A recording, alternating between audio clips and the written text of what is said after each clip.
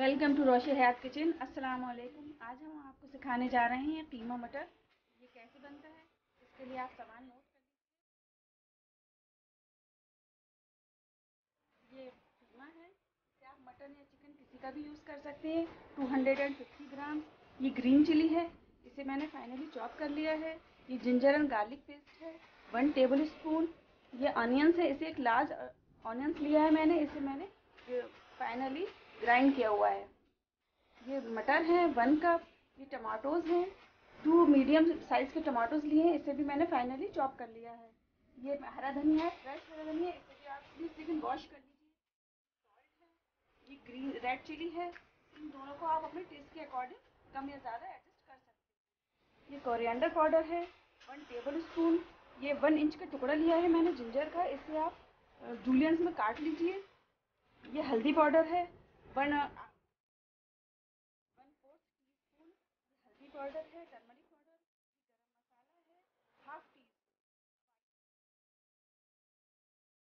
मैंने ऑयल रख लिया था पहले से गर्म होने के लिए फिफ्टी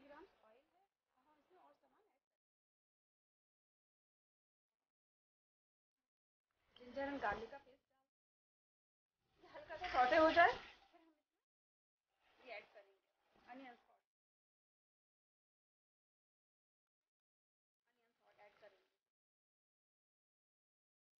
फ्लेम हमें शुरू से लेकर अब तक हमने हाई पे ही रखी है बस इसे उसके बाद हम नमक ऐड करेंगे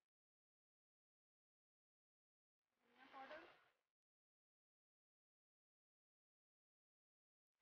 red chilli powder sorry आपको दिखाना भूल गई बे लीफ भी डालते हैं वो बे लीफ अब हम इसे देखिए ये भुनना शुरू हो गया है इसका ऑयल जो है वो सर्विस पे आ गया है अब हम इसमें थोड़ा सा पानी ऐड करेंगे और फिर में गलने तक अब हम इसे पकाएँगे।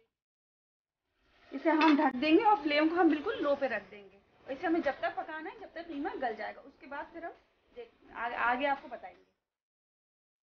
देखिए ये कीमा बिल्कुल गल चुका है और इसका तेल भी सर्विस पे आ चुका है। अब हम इसमें गरम मसाला ऐड करेंगे।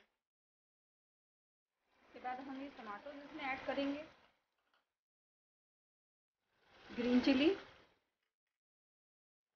और ये जिंजर बस थोड़ा सा हम छोड़ देंगे इसमें, गार्निशिंग के लिए।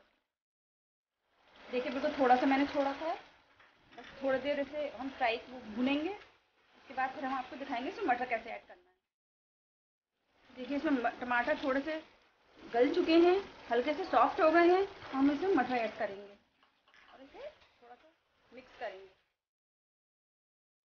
मटर इसमें हमने मिक्स कर दिए हैं, अब हम इसमें थोड़ा सा बस पानी ऐड करेंगे इतना कि मटर इसमें गल जाए। इसे हम कवर करके फ्लेम को बिल्कुल लो पे रख देंगे और इसे हमें जब तक कुक करना है, जब तक मटर अच्छे से गल ना जाए। देखिए, इसमें मटर गल चुके हैं और इसमें ऑयल भी सरफेस पे आ चुका है।